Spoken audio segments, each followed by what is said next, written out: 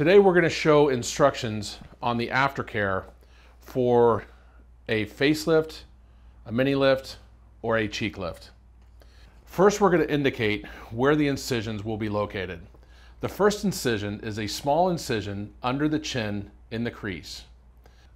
The second location of the incisions start in the hairline and as they move back, then they become vertical and they run in the creases behind the tragus. Then they move back behind the ear in the crease and into the hair. Now it is important to note that these incisions will be cleaned four to five times a day.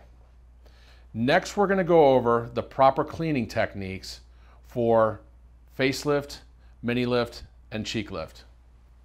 The first part is getting a Q-tip placing it in peroxide that has been pre-poured into the cap. Then you dip the Q-tip and you first address the chin incision by slowly rolling the Q-tip and noting the fizzing of the peroxide.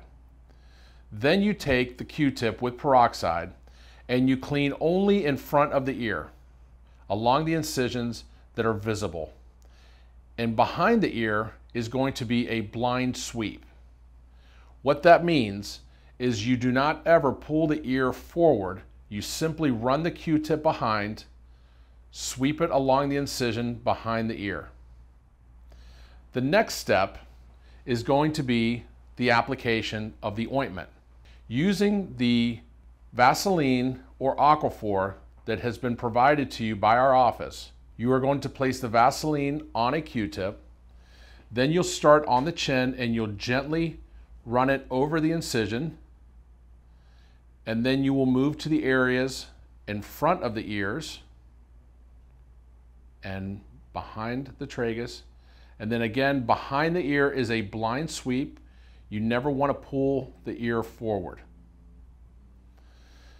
The last component of cleaning the facelift incisions are the hair bearing incisions. Now these are the only incisions that do not receive peroxide nor Vaseline, and they are simply washed using Johnson's baby shampoo.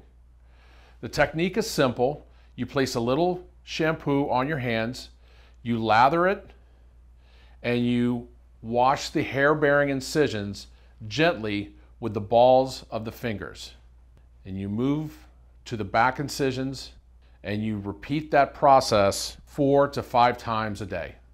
A very important part of the healing and control of swelling and bruising after a facelift, mini lift, or a cheek lift is the application of cold frequently for the first three days. We recommend using a towel that has been soaked in cold water or has frozen vegetables or peas and place them underneath the chin and the neck. Second, you can place gauzes over the cheeks to help control some of the swelling in that area as well. When the patient is lying more flat, these will stay on.